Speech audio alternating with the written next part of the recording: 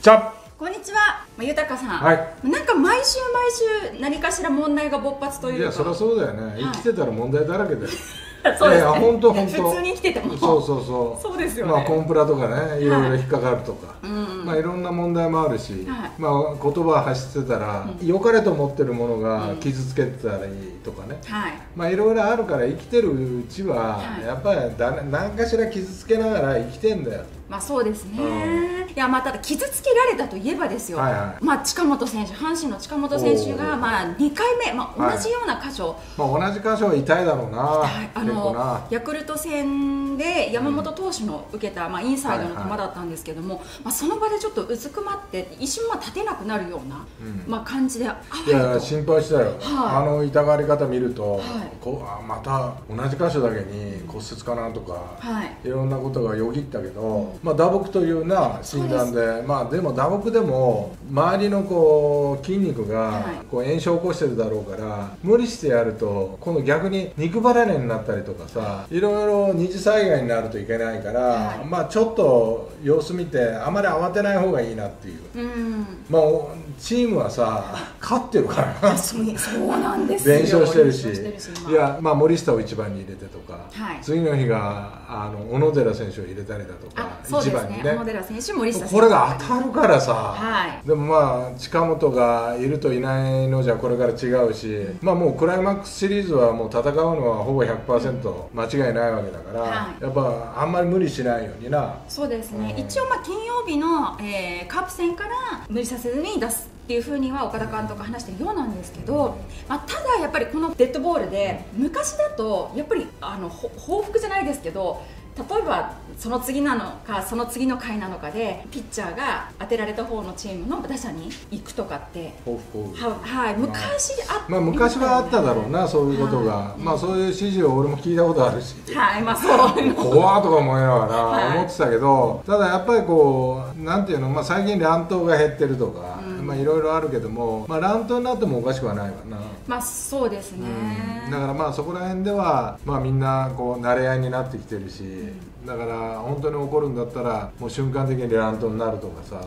もうこれも仕方ないなとは思うしね。ただまあヤクルトには例えば梅野選手が前回やっぱり骨折がヤクルトとの対戦の時だった。で確かその前日近本選手が当てられた前日の土曜日に大山選手だったりとかもう結構あの顔面とこう近いところに南極来てるのでやっぱりそういう意味でも例えばファンの中ではもっとやっぱりあれは怒っていいんじゃないかといかや怒っていいと思うよ。あの例えば、ね、岡田監督も高津監督がそそくさとベンチからいなくなってしまったと。一礼するなり謝るなりするなりあってもよかったんじゃないかなっていう言葉も含めたようなことも発してましたけれどもそれはあってもよかったのかなっていうふうに思いますか豊さんやっぱり。いや何が正解かわからないよ、うん。ただ岡田監督のあの態度っていうのは俺は立派だったと思うし、はい。やっぱ選手を守るというか、うん。だから他のコーチが行くというよりもやっぱりリーダーが行かないとそこは。はい。やっぱりそれはもうやっぱこう選手がそれをその姿を見てたらあの頼もしく思うだしな、うん。うん。だからそれはもうリーダーだったら当然怒るよ。怒らないリーダーなんかいないよ。そうです。見てみたいよ。近本我慢しろみたいな。いや我慢できないでしょみたいな、うん。それは怒るよ。だから高津監督がどういう態度だったかっていうのはそれは別問題として、あのじゃあどういう態度を取れば収まったのかって、ん。でも戦いだからさ、はい。その中で起きてる事故だから、これはもうわざとではないっていうふうに俺は信じてるし、はいその技術の低下あなさ、そういうピッチャーを上げてるっていうヤクルトのその現状の厳しさ。だからまあそういうこともあるあったんだろうなっていうふうには思うけどもやっぱ技術のある人間は当てないよ。厳しいとこは言っても。だから、まあ、そこら辺はやっぱこうちゃんと教えてあげないとね。やっぱこういう問題にもなるし。だからそのなんていうのまあ近本がまあ同じ箇所に当たるまあ、避け方がどうなんだって思うけど、やっぱり必死に打ちに行ったらねなかなかね難しいんだよね。あの同じ左打者としてでシュートっていうのは、まあ、避けるのも難しいけどもでうちに行ってまあ難しいだろうな、まあ、左ピッチャーの時に左バッターって逃げたら終わるって思ってるから、はい。向かっていくんだよね余計に。開かないように。だからその分こう反射が遅れるというかさ、はい。まあそういうことで当たったんだろうけどもね、まあでももう良かったな本当にな。骨折じゃなくていや本な当打撲で良かったですけどね、やっぱりただ、ヤクルトがやっぱり一番あのデッドボールが多いということで、まあ、今現在なんですけれども、ヤクルトが59、巨人も56というところで、まあ、ワースト1位、2位がヤクルト、巨人。で、どっちもやっぱり阪神が被害を受けちゃってるのがいや当ててるののでしょ。そうです、当ててるのが、はい、で当て返されてるのは、まあ返されてるったら変だ当けど てられてるのが、返されてるのはいくつなのかね。あー、ヤクルトと巨人がですよね、どうなんですか、だからやっぱ昔ね野村監督があの監督の時に、うん。やっぱそういうことは多くあったよね。はい。だからまあ中日の星野さんの時に、だって足がこっち向いてくんだもんピッチャーがいやいや本当に。今狙ったでしょ？みたいな もう完全にですよ完ね。全に向かってきてるから。ですよいやいやこっちだから投げんのみたいな、はい。体がこっちだから。完全に。まあそういうこともあったしね、はい。やっぱ戦いだからそのまあ厳しくっていうのは分かるけども、まあやられたらそのもっと乱闘になるぐらいでいいんじゃないかと思うけどね俺は。あー。やっぱり死活問題だよ。で今近本を阪神から取り除いたら、今は勢いでちょっと戦えるかもわからないけどもトータル的に近本を抜いた時の戦い方って結構しんどいぞ。いやそうですね、うんだから今今回骨折じゃなくて本当に良かったけど前回の骨折で離脱した時に5勝6敗で負け越してるんだよね、復帰するまでに。で今回は2つポンポンと勝ってたからこれは良かったけど。もね。でも本当にあのデッドボールって死活問題だし、防具をつけてる。はい。でこうやって出すやつがいるんですよ。わざと。え出したみたいな。いやこういうことをやりだすとやっぱ避けるのが下手になってるよ。全体的に、はい。やっぱ防具つけてるから。でもうここまでガードされて、うんはい。俺なんか耳なしやから。怖い。こんな帽子でやってたからヘルメットここ来たら終わりだよもう。そうですよね。だから緊張感があったしだけど今防具がねいろいろこう発達しててガードしてくれるから、まあ、そそれで事なきゃ得てることもあるだろうけども、はい。これからなんかここら辺もできてくかもな。もう全部鎧たいな。鎧鎧かぶってこんなガシャンガシャンみたいな。そうそう。になってくるかも。可能性があるよね。そうですよね、いやただじゃああの場面では、まあ、乱闘まで行かずにもちょっとこうやっぱり阪神ベンチも行ってもよかったんじゃないかなっていうまあそれは真摯に振る舞ったんだと思うけど、ね。うんもちろん阪神側がっていうあの、まあ行ったら行ったで向こうも出てくるだろうしさ、はい。まあだけど、まあ、場面が悪いわな。9回に 7, 対7点リードって。でしかもあのあの点差であそこ行くみあそこ行くっていうのがやっぱりあそうなんですよ。まあでもやっぱりこう、まあ、勝負してるわけだからね、マウンドのピッチャーも。左対左は抑えなきゃいけないっていうような、まあ、そういうことがあったとしてももうちょっとやっぱ技術を磨かないかんわ、まあそうですよね、うん当ててるようじゃ話にならないしな。それヤクルトの球団の関係者の方もそれ公にやっぱりうちにはあのシュートを投げて相手に当てないような技術がないということの表れですっていうふうには球団関係者の方が公式におっしゃったので。いやでもそれだったら投げさせなって。うんそうですよ、ね、いやそりゃそうだよ、だってバッター命かけて立ってんのにさ、そんな曖昧なことでさ言われても困るよそりゃ。いやそうですよね。いやそりゃそうだよだから藤浪が一番怖かったでしょ今は。あアメリカはもうアメリカもビビり出したからね藤浪が抜けるぞみたいな。確かにそまあそんなことはないだろろうけど、はまあだけどそれを一つの武器とするか、うんでもああやってちゃんと当てちゃったらさ、はでまあ近本がまた同じとこっていうのが罰が悪いよな、そこもあったと思いますし梅野選手で今離脱してる梅野選手も骨折になっちゃったのがやっぱヤクルトだったっていうのもありますしあとなその数日前は石川選手の頭部の危険球もやっぱりヤクルトだったっていうやっぱちょっと続いてたっていうところも、まあ石川は中日だけどね。あそうです中日ですけれどもやっぱりちょっとヤクルトが危険球が多いっていうのが続いてるというか。でもねやっぱり乱闘ってカーッとなってやるっていうよりも次を抑制する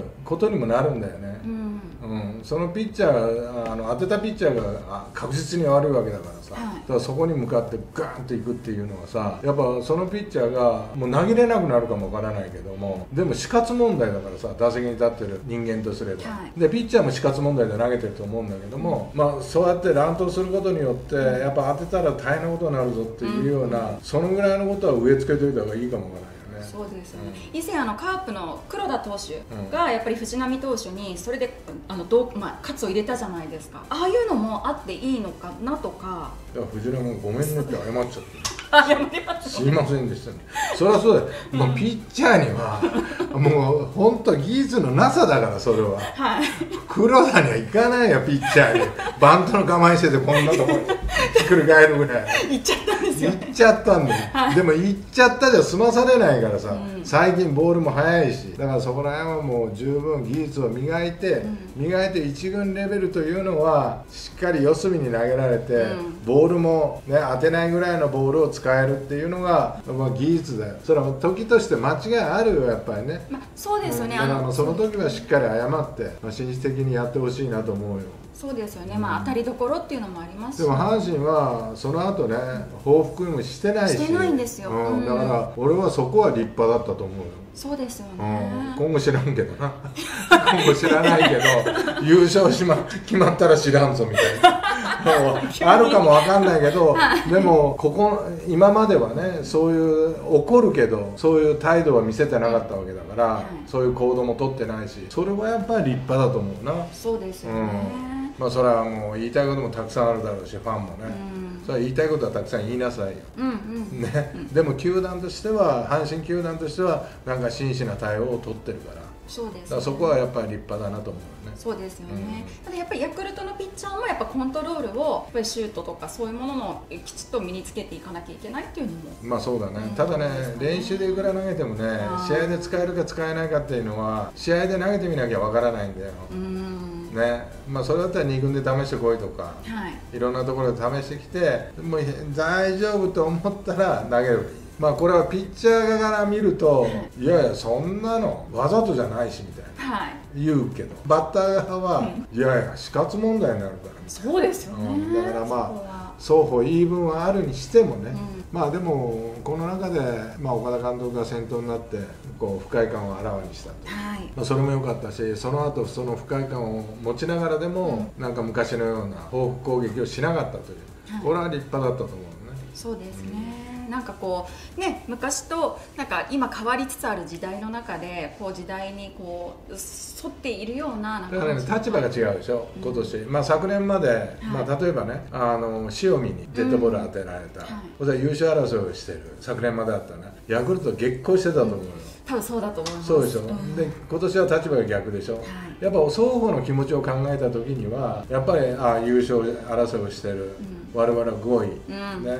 まあそれはは腹の中に煮えくりた煮えくり返って毎日を過ごしてると思うよくっそと思いながら、はい。でもやっぱ相手がやっぱそういう栄光をつかもうとしてる時にそういうことされたっていうんだったらやっぱり一礼はしとくべきだよな。そうですね監督も。うん、うんやっぱ気持ちは分かるでしょ岡田監督の。高津は優勝してるし、ね、2年連続優勝してる監督だしその可愛いメンバーが1人怪我で離脱するって言った時にはやっぱ頭帽子取ってすいませんでしたって、ね、えー言っても俺はおかしくはないとうん思う。よ、そうですよね、うん。同じ仲間戦ってる仲間としてね、はい。まあそれがあったらだいぶ違ったとは思うけどねそうですね、まあでも本当に今回ちょっと近本選手大事に至らなくてよかったなっていう思いが、ねいやそれが一番だな。うんそこが一番だったなっていう、うん。そしてもう岡田監督の采配がズバリズバリ当たるからさ。